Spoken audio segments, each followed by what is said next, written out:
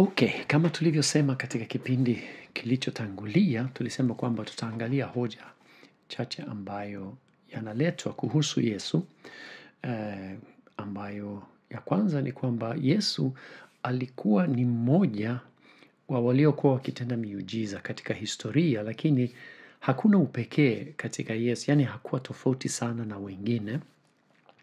Halafu tutaangalia juu ya mmoja mtu mmoja ambayo anatajwa katika historia kama mtu aliyekuwa akifanya miujiza na huyo anaitwa Apollonius. Kwa hiyo tutawalinganisha hao wawili na rekodi yao na jinsi maelezo yao yanavyokwenda. Na kwanza tutajaribu kuonyesha kwamba kwa kweli upekee wa Yesu ni wazi. Yeye yuko tofauti na wengine na hana mfano katika historia.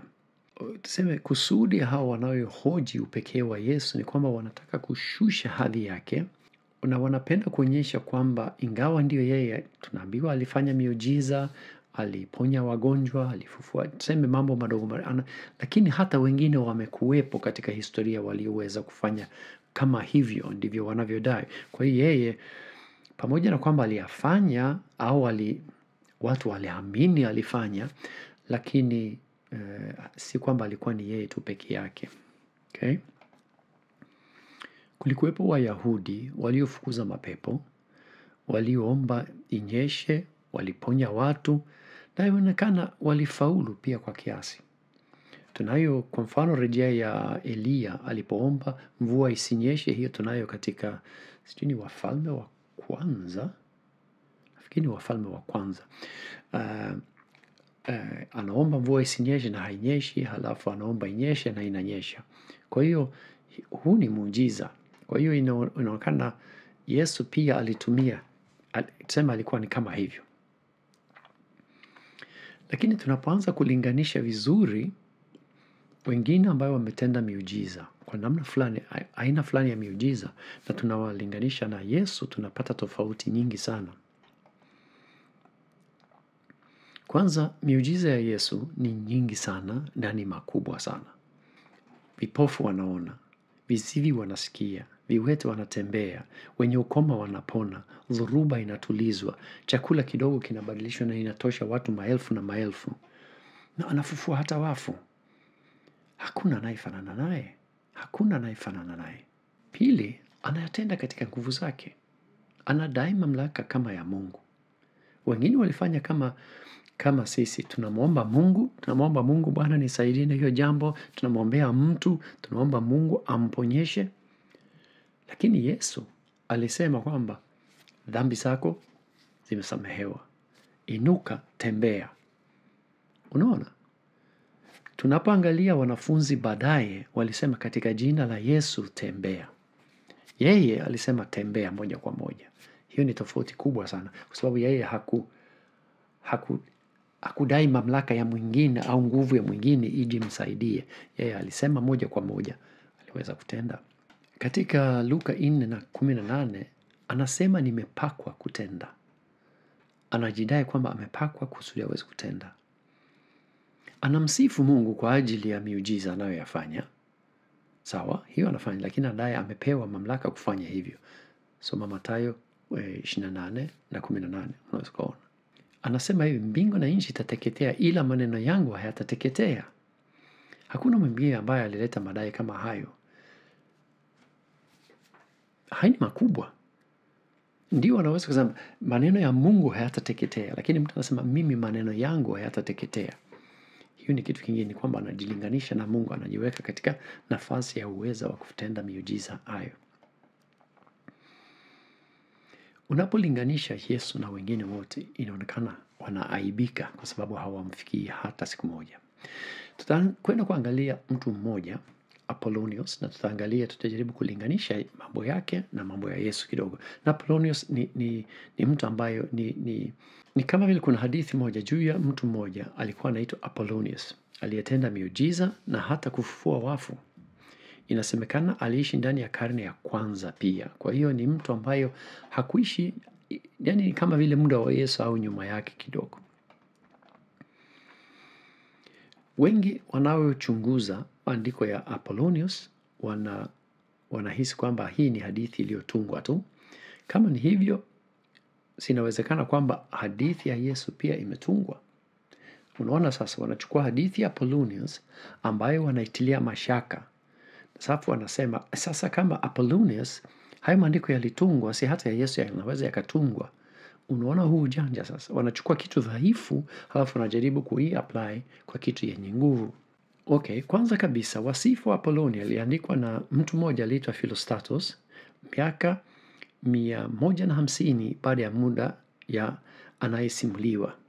Unaona, kwa hiyo e, wasifu yake ina, inaandikwa nyuma sana na yule ambaye anasimuliwa. Ukiangalia Injili iliandikwa muda mfupi tu baada ya Yesu. Yaani kuna, kuna watu ambayo wanapendekeza kwamba Injili ya Marko iliandikwa miaka mitano tu baada ya kifo cha Yesu. Hii ni muda mfupi sana. Huyu mwingine mia moja na hamsini tofauti miaka mia moja arobaini na tano na kadri ya andiko kuchelewa kuandikwa kuhusu mtu, kuna ile hatari ya mambo ambayo tuseme nyongeza na hadithi na, na stori za watu inaingia katika yale maelezo na tunaweza tukachukua tuka mfano hadithi kuhusu muhammed kwa mfano. Eh, Sahih Bukhari yeye alipewa hadithi nyingi sana. Kati ya hizo zote nafikiri ilikuwa karibu laki sita akaondoa eh, asilimia tisini na nane akasema hizo siyo halisi. Unaona?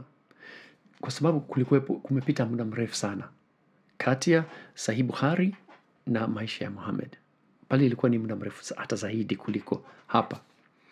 Unaona? Kwa hiyo kuna, kuna hatari ya kuwa imejengwa stori zingine kama muda unapita katikati.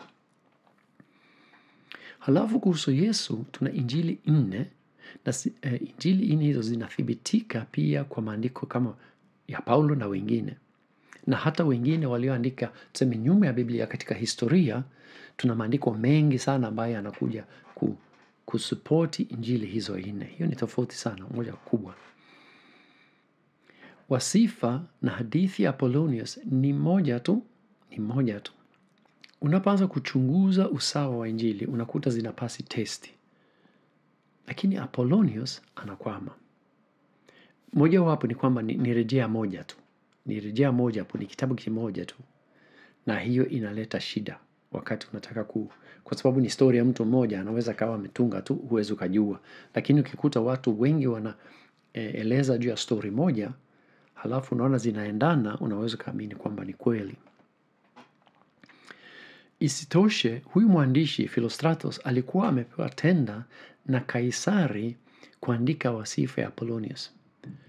Kwa hiyo yeye alikuwa amepewa tenda kufanya hivyo. Wainjilisti wa Biblia waliandika kwa sababu waliamua kuandika au tunaamini walisukumwa na Mungu kuandika, lakini wao hawakuambiwa na, na, na mfalme au kaisari au mtawala fulani, tunataka waandike hiyo wasifa. Wasifa nyingi za kihistoria zimeandikwa kwa njia hiyo pia, na mojawapo ni ya Apolonius. Na huyu mtawala alikuwa anaabudu katika hekalo la Apollonius, kwa hiyo alitaka kupata wasifa yake. Kwa hiyo alitegemea faida au malipo mazuri ya kazi yake. Huyu mwandishi alitegemea kwamba analipa kwa hiyo inabidi aproduce, si ndio? Ukifanya kazi kwa mtu inabidi umpa aliyoinunua, si ndio? Wainjilisti hawakutegemea kitu kama hiyo, wala hawakutumwa kuandika. Alafu ukichunguza mwandiko wa huyo Philostratus ni tofauti sana. Kwa mfano, anasema hivi, watu wanasema au wachache wanasema kwamba huyu msichana alikuwa amekufa. Wengine wanasema alikuwa ana, anaumwa tu. Anaelezea juu ya, ya msichana mmoja ambaye eti alifufuliwa kutika, kutoka wafu. Kwa hiyo anasema watu wanasema, yani ni kama vile kuna mashaka ndani ya maneno yake. Inaonekana yeye hakuwa na uhakika wala hakuamini kikamilifu yale ambayo alikuwa anasikia. Kwa hiyo kidogo ali, aliji, alijisalimisha kwa, ku, kwa kuonyesha hiyo tuseme. Kwa hiyo kwa upande mmoja tusema alikuwa mkweli katika hiyo, ali, hakupenda kusema kitu ambayo yeye mwenyewe alikuwa na mashaka nayo. Halafu kitu kingine, huyu Philostratus anaandika akiwa katika mazingira yenye Wakristo.